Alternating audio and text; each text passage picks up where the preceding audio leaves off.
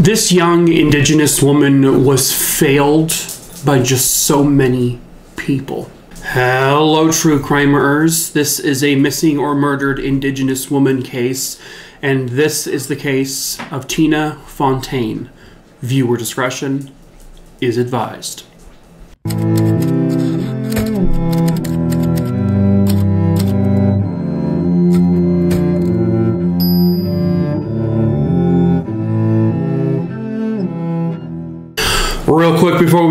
Started, hello, I'm Mike. If you're new here, I tell true crime stories thrice weekly, every Monday, Wednesday, and Friday.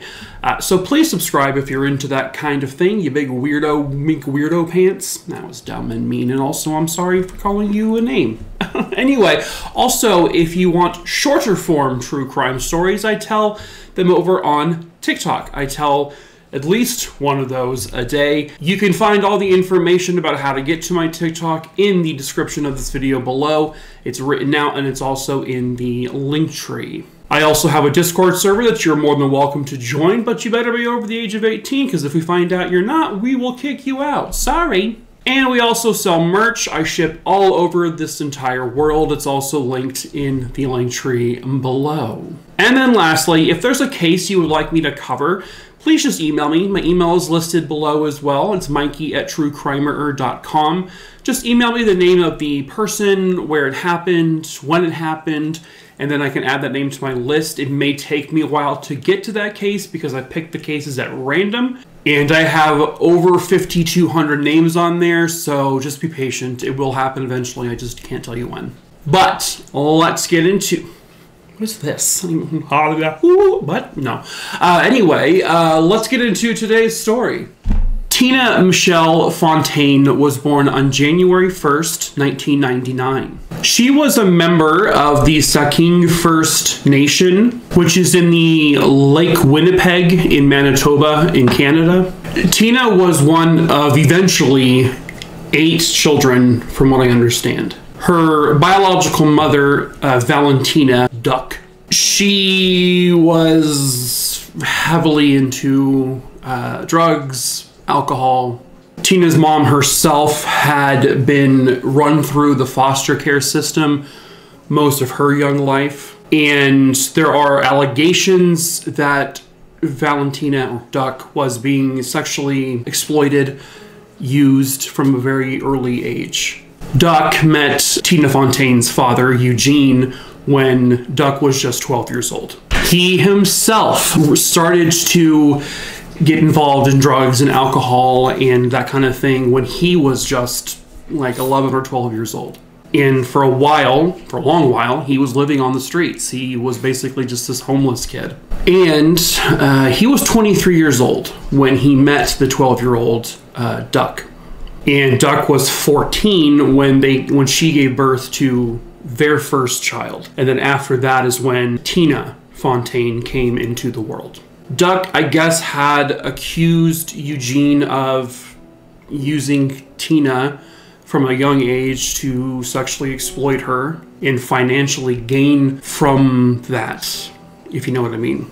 So I guess this was told to Child and Family Services or CFS, and uh, a person, an employee, went to the home to investigate this, but they didn't really do anything about it. They just sort of left it as is. There was a time after Tina was born where Duck and Eugene were trying to turn their lives around, trying to get off drugs, trying to become an actual family and, and better everything, but because of the stress of raising kids and all of that, and they just fell right back into the scene. Back when Tina was just uh, a very, very young child, like one or two years old, and her sister was like less than a year old, they were taken by CFS because Duck and Eugene hadn't picked the kids up from their grandmother's house when they were supposed to and required to. So a couple of the children were put into the foster system, but within less than a week, they were put right back into the care of Duck and Eugene. Just a year later, the children were taken by CFS again because Duck and Eugene were at a party doing drugs, drinking a lot of alcohol,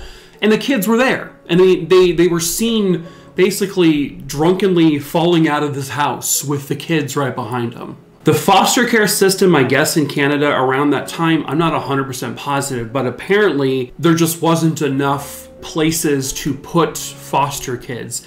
So they started using hotels to put these kids in. So they were out of the care of Duck and Eugene. And then Duck and Eugene, they separated, they broke up. Their relationship was finally over. And for whatever reason, the kids were then put back into Eugene's care. But he couldn't handle it. Uh, and so then the kids were put into the care of Thelma and Joseph Favel, um, which, and Thelma is the girl's great aunt, but I guess they would kind of refer to her, the girls would, as grandma.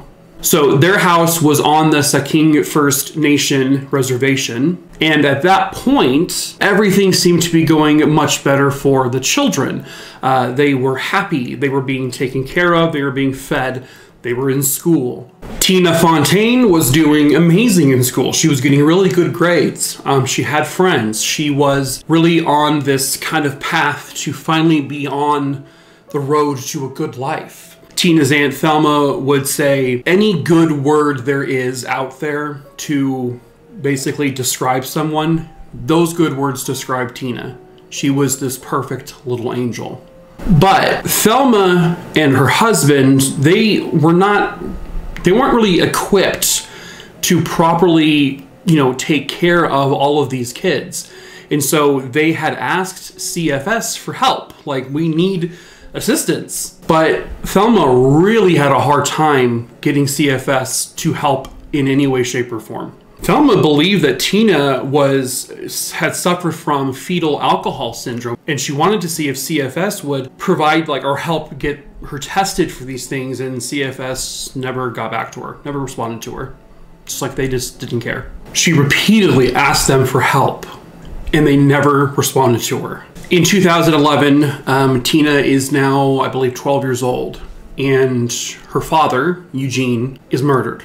Um, he is brutally beaten to death. This was done by two men. The two men were arrested and they would go to trial, and I believe they were convicted of that murder. All of the progress that Tina had made um, in turning stuff around, becoming this this wonderful young girl who was on her way to doing big things in her life. Um, very smart, sweet, innocent.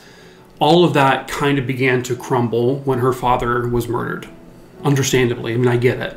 This is when Tina started to show, like, you know, mental health issues, possibly depression, a, an onslaught of issues that would come from a 12 year old girl learning her father was brutally beaten to death.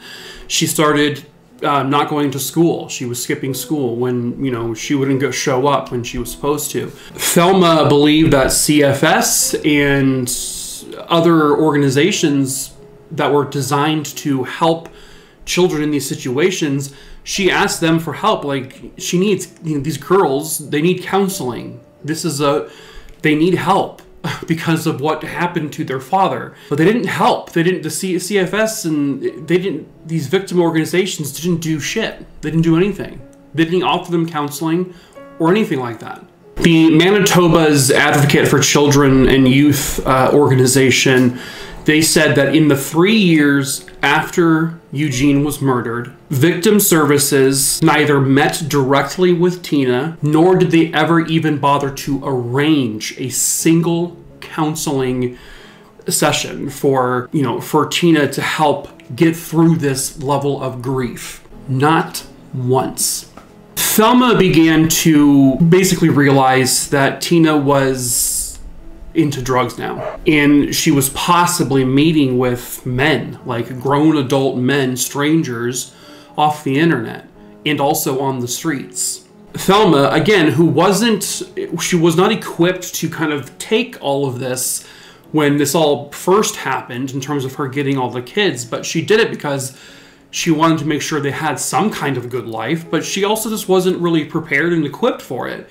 And so she went to Child and Family Services again, even though they basically have failed her at every turn. And they said, listen, I don't have, I don't, I'm not equipped to handle this.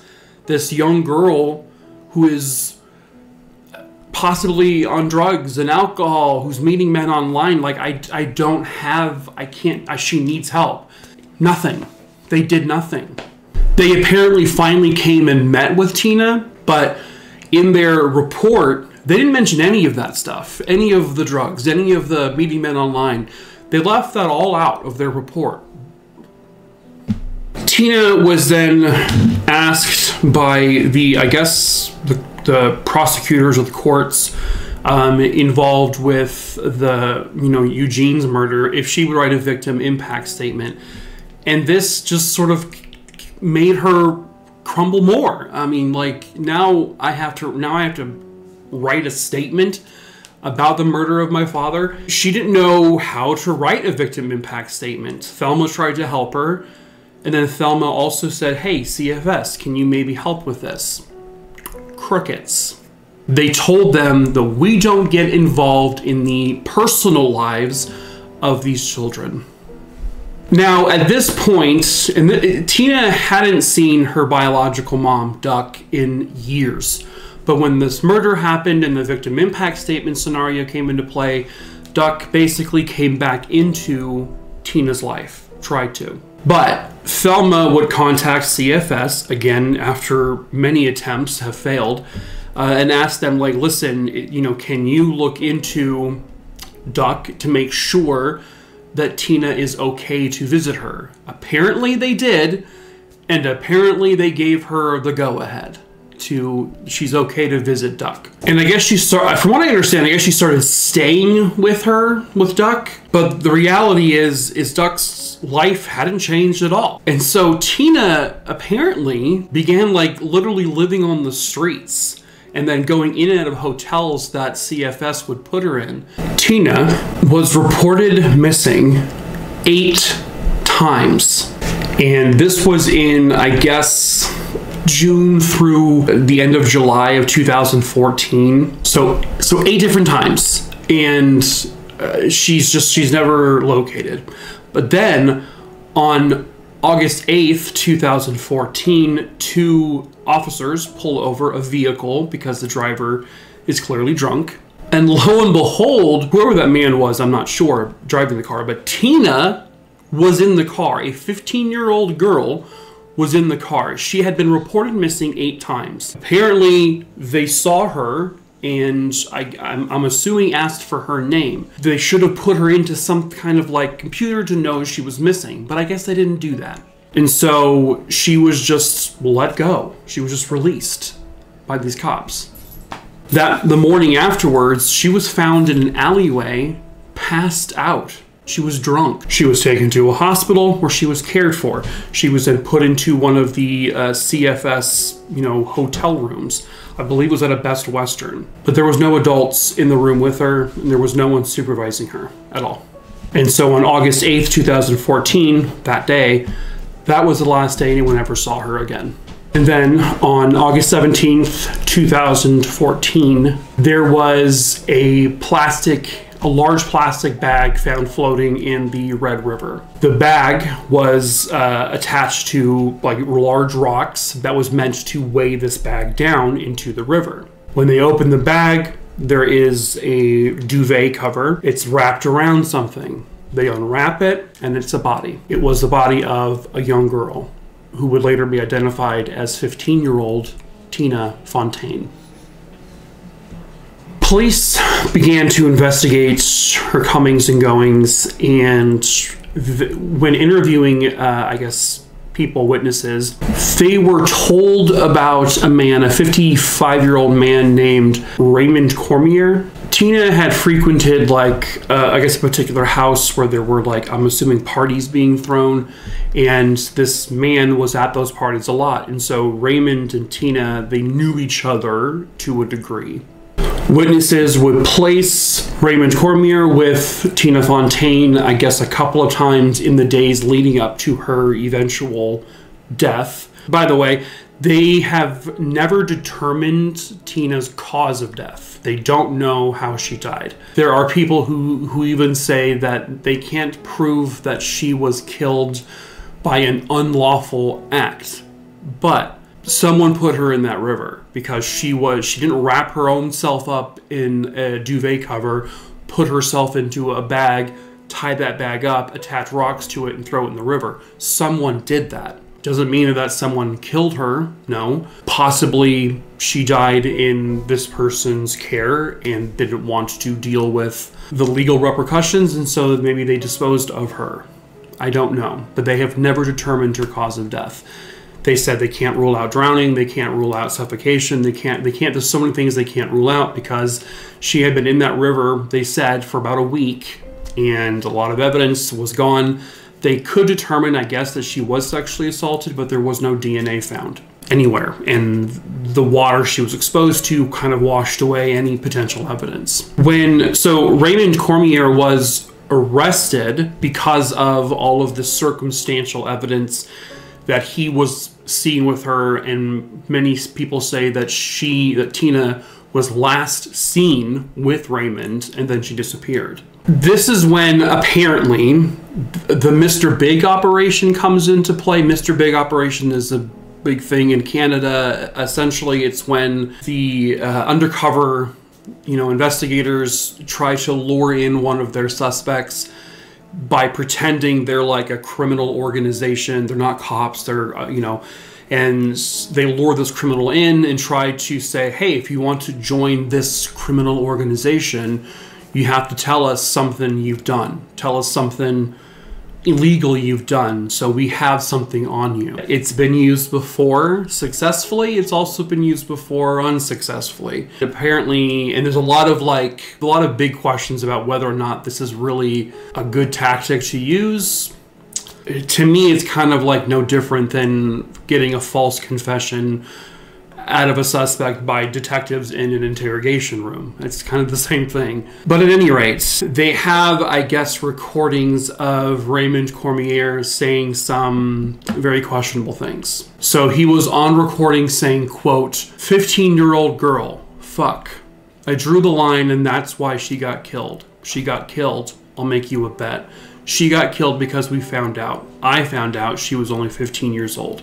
End quote. Another quote, he said, caught on audio. Quote, You ever been haunted by something? What happened there really fucking, it's not right. Fuck. It's right on the shore, so what do I do? Threw her in. Unquote. And then a third quote, quote, I did, Tina. Fucking supposed to be legal and only 15. No going back, too. The cops said if there would have been DNA, and probably they would have had enough evidence to charge, you know that, for the murder of Tina Fontaine, unquote. It sounded like he was confessing to killing her. Um, but at the same time, there is a lot of vagueness in those statements. Basically, Raymond Cormier was saying that he said those things as like a hypothetical. I don't know what that really means, but he said those things and so you got to take them for what for what they were. So the speculation that the Crown, who is the prosecution in Canada, what they essentially came up with was that Raymond and Tina had interactions together at these house parties, and eventually this led to them possibly doing drugs and drinking together, and he by chance probably had sex with her. They then think he found out after the fact that she was only 15 and he got really pissed about that for her not telling him, and then he killed her. So he's actually charged with her murder. He's charged with second degree murder and he goes to trial. The issue is is the crown had no physical evidence whatsoever tying him to this crime. There was no DNA, there was no fingerprints, no hair samples, nothing. Uh, the duvet cover uh, was, I guess, similar to a duvet or identical to a duvet cover that Raymond owned wherever he lived. I don't know if that means he used his to wrap her up and then bought a new one to make it look like he never, like it never left his house or whatever. I don't know, but the recordings when, you know, he said, I did Tina. He did not say, I killed Tina. I murdered her. He never really said he directly ended her life and his wordings can be interpreted as as a hypothetical as a he just sort of what if I was that person, what would I have done? But in the closing arguments at the trial, the, the prosecutor would say, Raymond's own words told you what he did. that he identified himself as the killer of Tina Fontaine. They brought up witnesses to say that Raymond had made sexual advances towards Tina prior, a couple of times. His defense said there's no way of pro- proving she died through an unlawful act, meaning there's no way of proving she was murdered. Then you have that, okay, but she was wrapped in a duvet, put into a bag, tied with rocks, thrown in the in the river. That impl- that implicates foul play, at least disposing of a body. Who did that part? And so that's where it kind of comes in like maybe she accidentally died. Maybe there was an overdose. You know, did something happen because she was so intoxicated? Did something accidentally happen? Well, there's no way of proving that either. There was no way of proving either side. They had nothing physical to say what happened to her to end her life. Separate from someone put her in the river in that condition, that's one thing, but how did she get to that that place where she's dead? And they couldn't show or prove how that happened. So in february of 2018 raymond cormier uh, was found not guilty of the murder.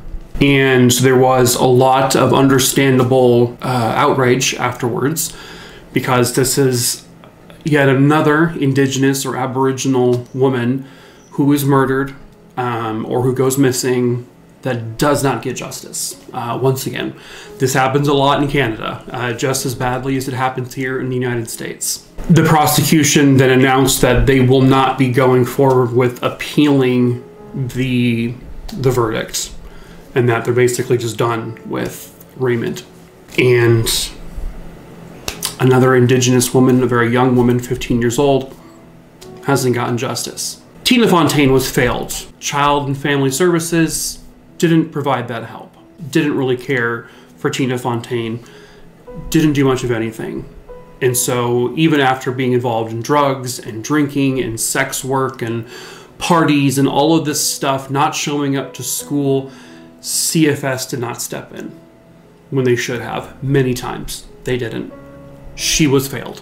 Had they come in to help her, had they come in to, to fix the situation, Tina may not have gone down this path that eventually led to whatever cause of death happened to her. But someone put her in that river. A person put her in that river. A person put her in that bag, wrapped in a duvet cover, and threw her in the river with rocks. Someone did that. That person, whoever it may be, has not been held accountable. And there doesn't seem to be any desire to hold anyone accountable for it at this point. Because, hey, indigenous young girl went down the wrong path in life.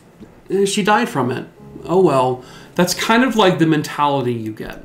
Something unlawful happened to her in some way, shape, or form, and no one has been held accountable for it. No one's gotten in any trouble for it.